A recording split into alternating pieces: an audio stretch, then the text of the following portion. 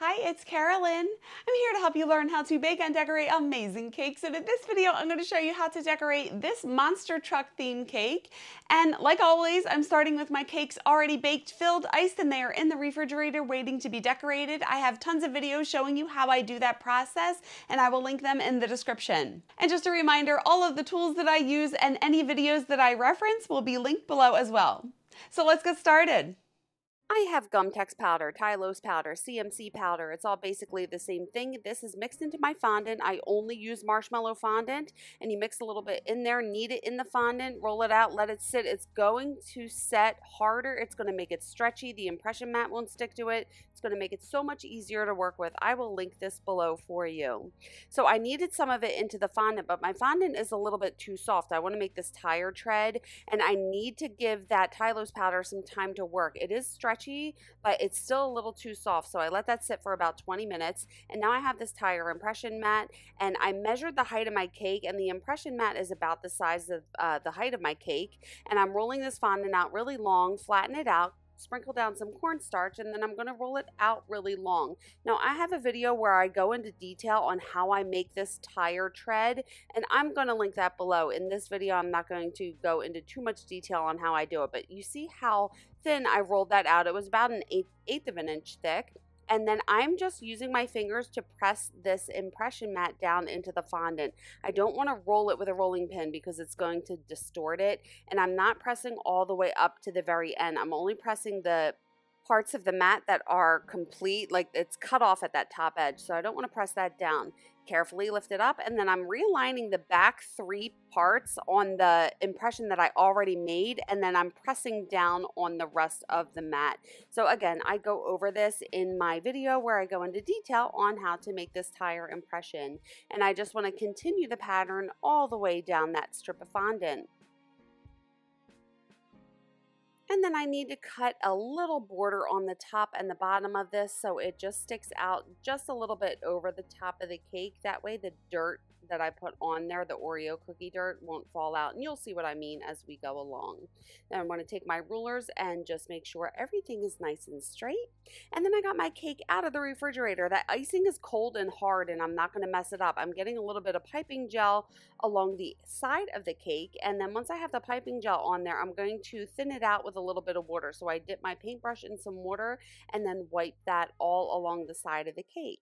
And now I want to clean the cake board, so I want to make sure it's not wet, and then I'm rolling that tire tread from one end to the other. I'm starting in the very back of the cake, and then I'm pressing this against the cake as I wrap it around there. That way no air bubbles are going to form.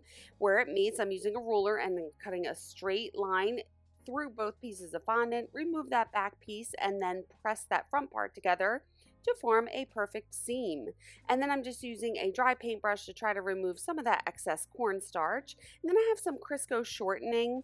And I like to do this method to remove cornstarch from fondant and to shine it up. If you have a steamer, you can use a steamer instead, but I just like to do it this way. So I'm just getting a really, really thin layer of shortening on there. And then I have a dry paper towel and I'm removing the excess and then I go through with a dry paintbrush and try to get into those little crevices and remove any excess shortening. And look how beautifully that shined up that black fondant. It just looks so much better when you take the time to do this.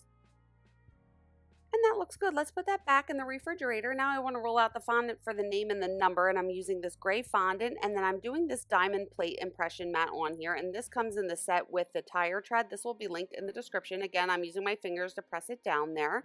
And I'm going to set that aside. Now I have that Gum-Tex powder mixed into all this fondant. Again, I have a piece of non-slip pad underneath my cutting board, an X-Acto knife, a Dresden tool, and a little bit of water. And his name is Cannon. And I printed that out the size I wanted it to be. Same for the number four. I measured my cake and made sure that everything is going to fit. Now this number four is part of my favorite numbers and I do have a PDF with my favorite numbers. I will link that in the description, but I'm using the pinprick technique to trace this on here. That way I don't distort the pattern that's on the fondant. And then when I cut this out, I just want to make sure I'm cutting on the inside of those dots. So that way you won't be able to see all those little holes in the fondant. And once I cut anything out of fondant, I'm going to take my time, use my fingers and my tools to smooth my cuts because the fondant is always a little jagged when you cut anything out. And then I'm just realigning that on top of the best part of the pattern on the fondant. And again, using the pinprick method to trace these on there and then cutting on the inside of those dots. Now that name, I just Googled Canon with a K and then name and then clicked on images and I found that image and I just printed out the size that I wanted it to be. So once I smooth out my cuts, I realign it on top of that paper so it dries to the correct shape. And I have some Rolkem Super Silver with some lemon extract. I poured some of that powder in that cup already and I'm adding a little lemon extract. I want to paint this silver so I am just dipping a paintbrush in there and painting everything, making sure that I get along the edges so the edges look silver as well. You don't want the edges to look gray. And I'm going to set that to the side just so the silver can dry. And I printed these out. I measured my cake again. I printed these out on my edible printer. And I have a video showing you how I do, how I use my edible printer. That will be linked below. And I'm just taking my scissors and cutting an even white border around this entire thing. If you have a Cricut, you can use a Cricut. I just prefer to do it by hand. I find it a lot easier and faster for me to do it this way. So I rolled out some white fondant for that Grave Digger logo. And I rolled it out a little thick because that's going to go on top of the cake. Now I flip that upside down on some paper towels and I'm putting some piping gel on the back, making sure I go over the edges. That way the edges will stick down to the fondant and carefully place that down so no air bubbles form behind it. And now I have some thinner white fondant for this Monster Truck logo. And again, I'm getting piping gel down on the back. And do you see how I'm curving the image down and pushing it down from one end to the other? That way no air bubbles will form behind it. Now I'm using that white border as a guide just to cut that fondant out. And then I'm going to smooth my And I'm doing the same thing for this one, but since this is a thicker piece of fondant, I need to make a shallow cut first. That way I create the line and then I can use that line as a guide and stick the tip all the way down to the cutting board and cut it out. That way I won't distort the image or the fondant. And then I'm going to flip that over and use my fingers and smooth all of the edges and use my tools and just press all that excess fondant back down on itself so it looks nice and smooth. I want that Grave Digger image to dry flat. I'm just leaving that on the cutting board, but I'm putting the Monster Truck logo in a Ziploc bag so it can stay pliable so I can contour it to the shape of the cake. And let's set that aside. Now I want a green background on these so that silver has dried. I'm getting some water on the back of that and carefully placing that down. And then I'm getting really close and just cutting an even green border around this entire number.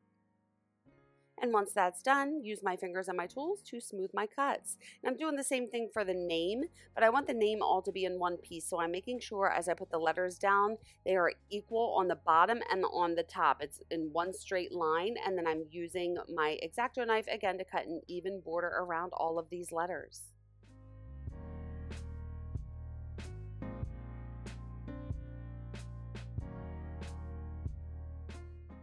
I'm just going to set that aside on another cutting board so it can dry flat at room temperature. So now I rolled some white and some black fondant out really thin and I have this square cutter. I will link that in the description and I'm cutting a bunch of white and black squares. I use my hand just to rub it against the back so I get sharper cuts and smack it down on there to release it from the cutter and I have a cake box lid that I just set these on. Let's set those aside to dry and now I'm getting my cake out of the refrigerator and let's stack this. So I have my little sewing ruler and I offset the bottom tier to the right and I'm stacking the top tier to the left. So I'm just measuring my straws and then cutting off that little marker and throwing that part away. My hands are always clean when I'm doing this and I'm offsetting these straws over to the left. Now I do have a video where I go into detail on how I stack my cakes and that will be linked in the description.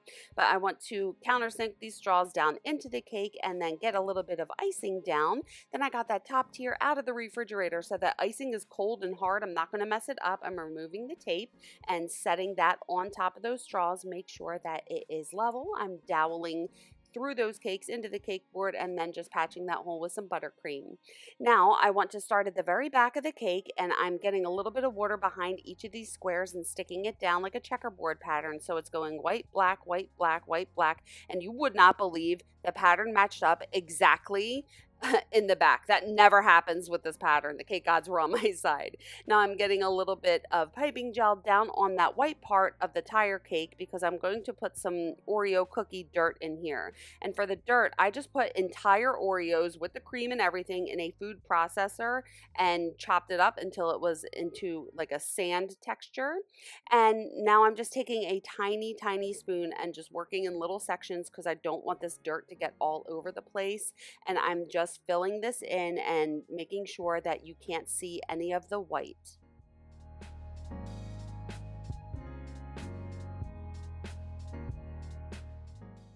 And that looks good. Let's put that back in the refrigerator. And now I felt like this name needed a black background, so I rolled out some black fondant really thin, get a little bit of water behind this green fondant, and I'm going to stick that down and then get really close and cut an even black border around this entire thing use my tools and my fingers to smooth my cuts and then I want that to dry flat so I'm just going to put that back down on that cutting board and set that aside. Now I printed flames out the size that I wanted them to be. Now all these pictures that I use will be linked in the description. I have some white fondant and do you see how I'm tracing the white part? It does have a yellow tip but I'm tracing that entire part onto this white fondant. So I did three different sizes just to give it a little bit more visual interest and want to make sure I can trace all three of these flames on the white fondant and then when I do, I'm going to take my X-Acto knife and cut all of them out and smooth my cuts.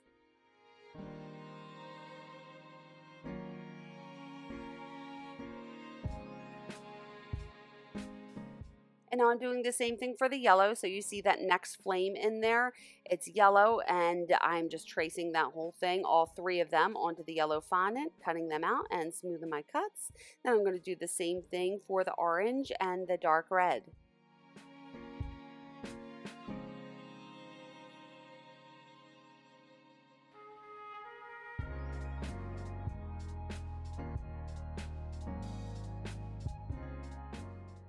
I want to airbrush them. So I have a paper towel and I'm having the points face towards me. And you see how all of the tips of them are different colors. There's the dial on there that controls the airflow and the on off switch. And I just want to make sure I don't pull that trigger back too far.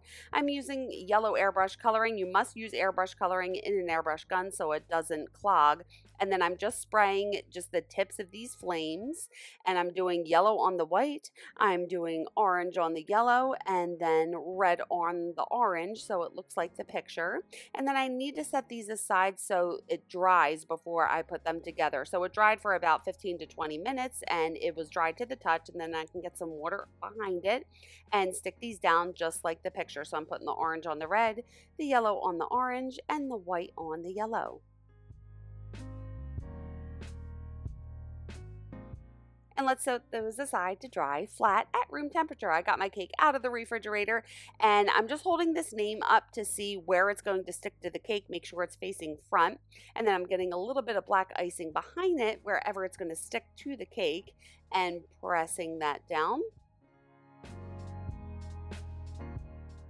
And now I made sure that I wiped these cars clean. I did get these on Amazon. I will link them below. And I'm putting that on top of the cake just to see where it's going to fit and I want to get a skewer in underneath that topper and that's why I rolled that white fondant out a little thicker so I can fit these skewers and toothpicks underneath it, get a little bit of icing underneath it and then I'm going to slide that down into the top of the cake where that excess icing is sticking out. Take a dry paintbrush and just remove it and wipe it in a paper towel. And now I can get a skewer underneath here so there's a little hole in the bottom of that truck, so I'm just filling it with a little bit of black icing. I'm getting down some piping gel first, and then I'm going to put a little bit of that Oreo cookie dirt down. And then I'm sticking that skewer in there and sticking that down in the cake. So that skewer will help prevent it from sliding around or falling off the cake, but you can still see it. So I'm just filling it in with a little bit of dirt to hide the skewer. And now this stayed pliable because I kept it in that Ziploc bag. I got a little bit of icing in the middle and some piping gel on the ends. It's just like the way that I like to do it sometimes and press it down, making sure all the edges are flat against the cake. And now I want to hold this number here in the flames. Like I just like to see where I want to put them before I glue them down. And then I want to pay attention to where the number is touching the tire. And right there is where I want to get the icing. I'm using black icing because I'm sticking it to black fondant. That way you won't really be able to see it. And press that down.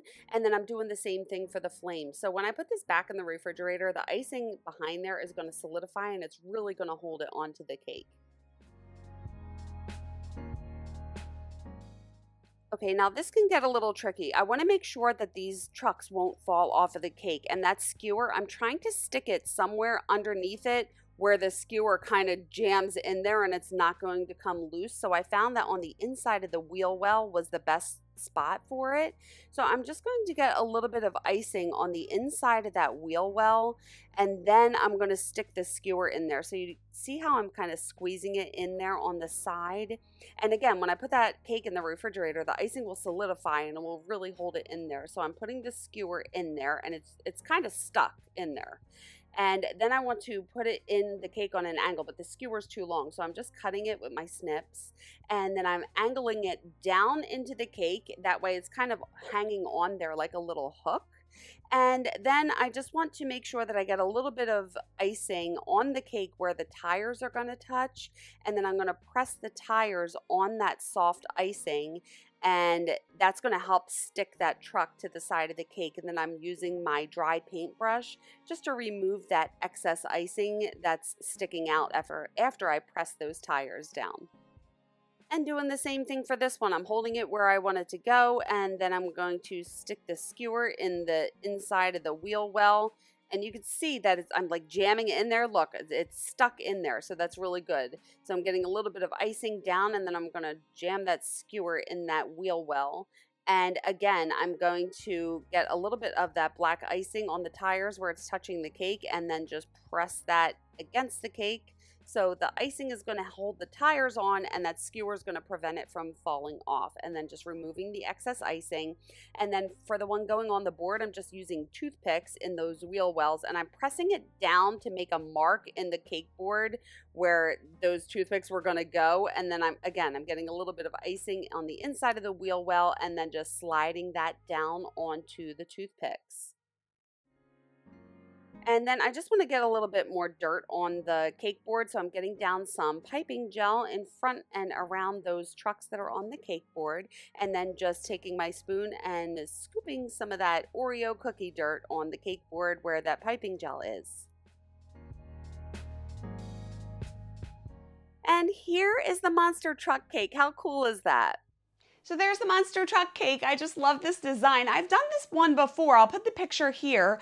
So the colors are a little different and Cannon liked green, so he wanted a lot of green on his cake for the Grave Digger. I just want to say a few things about this. Number one, like I said in the video, I have a tutorial where I go into detail on how to do that tire tread, and I will link that in the description.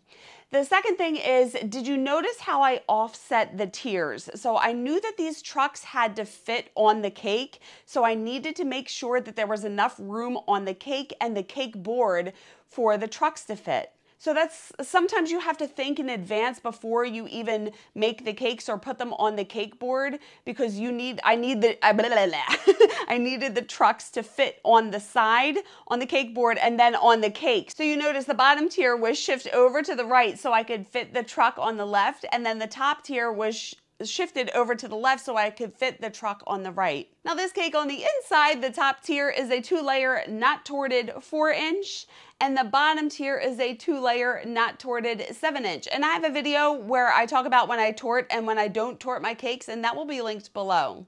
But the reason I did a two layer not torted seven inch on the bottom is so my cake wouldn't be as tall and that tire tread would pretty much fit around the side of the cake. And I mentioned that in that video where I talk about how to do the tire tread. And it feeds about 20 to 25 people. So I think that's it. What new techniques did you learn in this video? I would love to know. Leave it in the comments below. And if you guys want my recipes, I have tons of recipe ebooks out there. I'm gonna link all of them below. I have my doctored cake mix recipes, my scratch pound cake recipes, all of the fillings and the icings that I use, along with my favorite numbers and my favorite fonts PDF. So they are all listed in the description. And just a reminder, I have a Kake Academy membership program where I can help you elevate your cakes to the next level. All of that information will be listed in the description. Please like this video if you liked it, and if you're enjoying my tutorials, I would be so grateful if you could buy me a coffee. My link is down below. And I would love it if you would keep in touch on socials, and you could check out my website. And if you want to stick around, you can watch this video next, and hit subscribe and the bell if you haven't already.